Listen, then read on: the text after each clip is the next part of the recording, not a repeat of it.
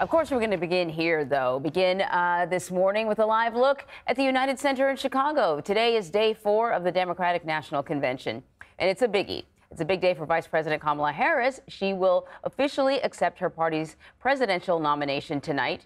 In her speech, she's expected to tell her story of coming from a middle class neighborhood and her work as a prosecutor before rising to the highest level of American politics.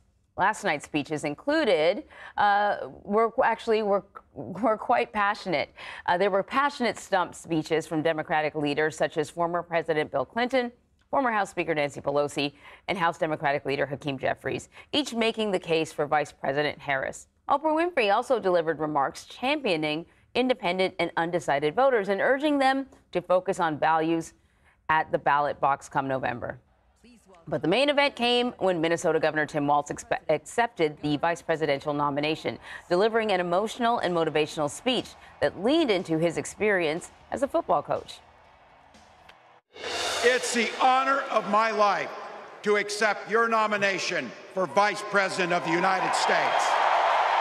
We've got something better to offer the American people. It starts with our candidate, Kamala Harris. You know, you might not know it, but I haven't given a lot of big speeches like this. but I have given a lot of pep talks. so let me let me finish with this team. It's the fourth quarter. We're down a field goal, but we're on offense and we've got the ball. We're driving down the field. And boy, do we have the right team. Kamala Harris is tough.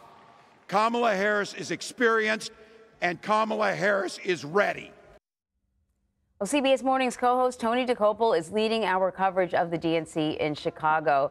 Um, so, Tony, I think uh, sort of what I thought was interesting about Walz's speech is I think we saw a little bit of an edge on him that we didn't see before. Still kind of your Midwestern dad kind of uh, energy, but a little edgier and maybe a glimpse of what we're going to see as the campaign continues. What sort of stood out to you about what whoever you heard from last night?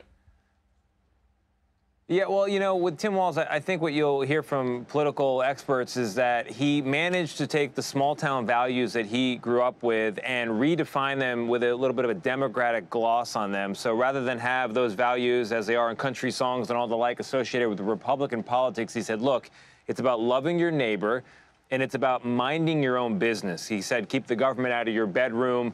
He also tried to add a little detail to the gaps there are in the Kamala Harris policy platform. She's only been the candidate for, what, 30 days? She's not got detailed proposals on everything. And he said, look, all you have to do for your undecided friends is clip what I'm about to say. And then he went through some bullet points lower taxes, lower housing costs, taking on big pharma, and, and fighting for freedoms across the board. Bill Clinton, also a fantastic speech.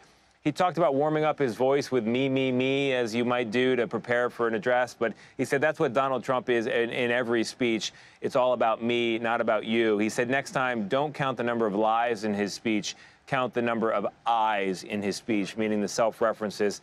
And then Oprah, my goodness, what a surprise that was. It was like a shotgun of, of, of applause when she came out onto stage. It was kept under wraps, and she reached through the camera and tried to talk to independents and undecided voters and get them to turn out. She said, I vote because that's what Americans do, Anne Marie.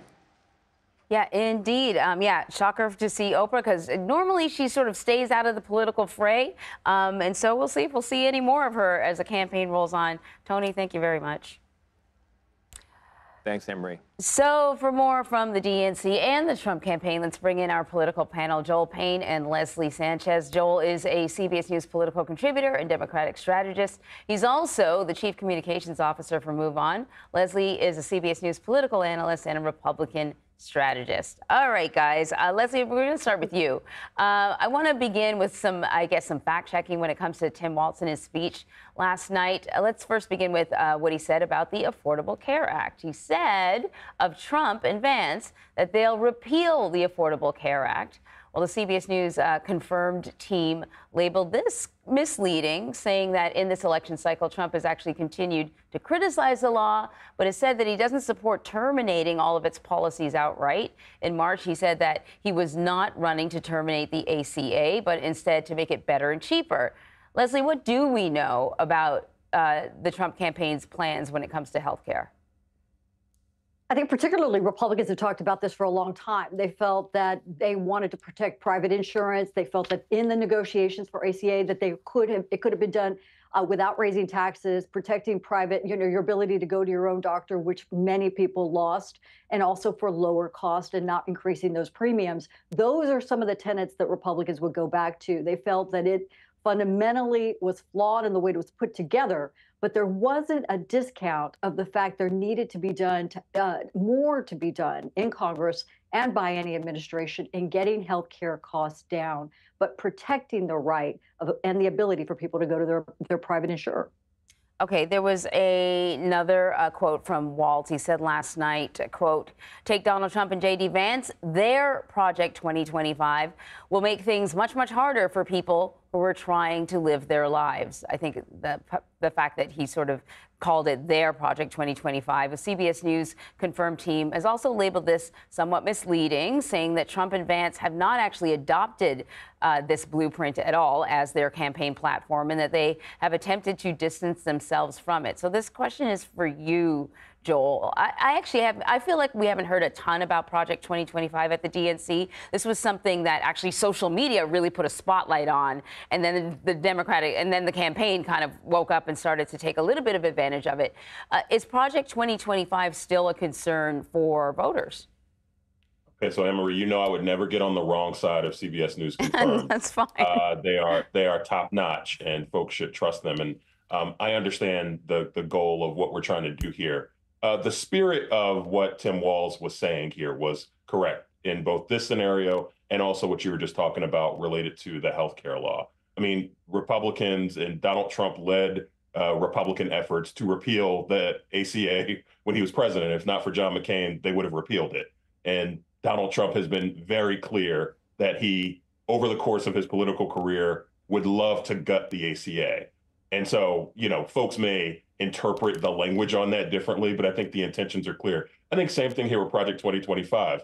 Uh, I've lost count of how many people who used to work in the Trump mm. administration who now uh, work for have supported Project 2025, which, by the way, when they shut down a few weeks ago, all that means is that a lot of those folks who are working on Project 2025 are going to be a part of the Trump uh, transition project, which both campaigns have the opportunity to set up a transition operation. So again, uh, the smart folks at CBS News confirmed. I'm not not getting on the wrong side of them, but I, I do think that the spirit of what Tim Walz is saying here is correct. And I think the American people, they don't have to just trust what Tim Walz said last night. They can they can trust their own eyes. They can go read Project 2025. They can go look at the connections. They can go look at the vote back when Donald Trump was president what happened with the ACA.